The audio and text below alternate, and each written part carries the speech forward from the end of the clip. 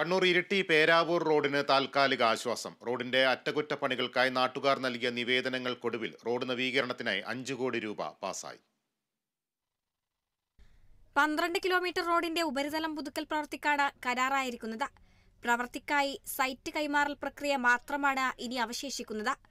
വർഷങ്ങളായി ഇരിട്ടി മലയോര മേഖലകളിലെ പ്രധാന റോഡുകളാണ് അറ്റകുറ്റപ്പണി നടക്കാതെ കിടക്കുന്നത്. ഗ്രാമീണ റോഡുകൾ ഉൾപ്പെടെ വീതി കൂട്ടി നവീകരിച്ചപ്പോഴും ദിനംപ്രതി ആയിരക്കണക്കിന് വാഹനങ്ങൾ പോകുന്ന റോഡ് കുണ്ടും കുഴിയും നിറഞ്ഞതായിരുന്നു. റോഡിന്റെ ശോചനാവസ്ഥയും നവീകരണവും ചൂണ്ടിക്കാട്ടി പൊതുമരാമത്ത് മന്ത്രിക്ക് നാട്ടുകാർ നിവേദനം നൽകിയെങ്കിലും ഫലമുണ്ടായില്ല. കണ്ണൂരിൽ നിന്നും വയനാട്ടിലേക്കുള്ള പ്രധാന പാതയെന്നതും എവിടെയും പരിഗണിക്കപ്പെട്ടില്ല. അതേസമയം തകർന്ന റോഡിനെക്കുറിച്ച് കഴിഞ്ഞ ബജറ്റിൽ വിഷയം ഉൾപ്പെടുമെന്ന് കരുതിയതും വെറുതെയായി. ഇതിന് പിന്നാലെയാണ് ഉപരിതലം പുതുക്കുന്നതിന് അഞ്ചു കോടി വകയിരുത്തിക്കൊണ്ടുള്ള ഉത്തരവും സാങ്കേതികാനുമതി ലഭിച്ചത്. നവീകരണ പ്രവർത്തികൾ പൂർണമാകുന്നതോടെ ദുരിതയാത്രയ്ക്ക് താൽക്കാലിക പരിഹാരമുണ്ടാകുമെന്നാണ് പ്രതീക്ഷ. Kerala vision news Kannur.